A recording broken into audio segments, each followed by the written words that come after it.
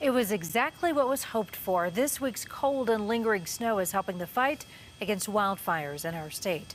Copter 4 flew over Grand Lake earlier today. Just last week, the town threatened by flames covered in snow today. It was nice to see many of the structures still standing there. Well, tonight the fire is 20% contained. Most of that containment is on the southern edge. Now crews are focusing containment near Grand Lake and in Rocky Mountain National Park. Well, officials say they are still working to assess just how bad the damage to all those structures are. And so are the home and business owners who had to evacuate.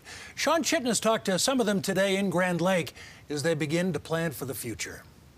It's already been a tough year for the community in Grand Lake, and the past few days have only added to the devastation. Tonight, they're working on reopening and staying optimistic, looking forward to bringing the town back better than before. We have no idea when they're going to let us back in. Chris Stein and his family spent the day cleaning up Bighorn Bagels while they wait to go home. A new business they opened in Grand Lake just months before the pandemic. We're discovering it's a sad day. Um, we're here because we pretty much have to throw everything out. A similar situation next door at Jumpstart Coffee and Tea Shop.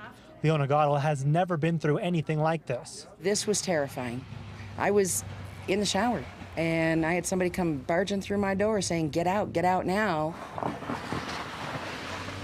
The town is quiet as residents return, surrounded by snow and the smell of smoke.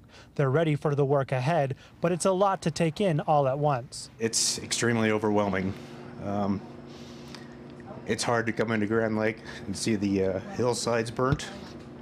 Uh, we're doing our best. They hope to make progress in the next few days to open up by Saturday, asking visitors support this community in the weeks ahead. Let's get it back to where it was.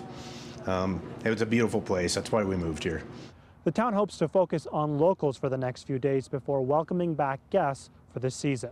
Reporting in Grand County, Shawn Chitnis, covering Colorado First.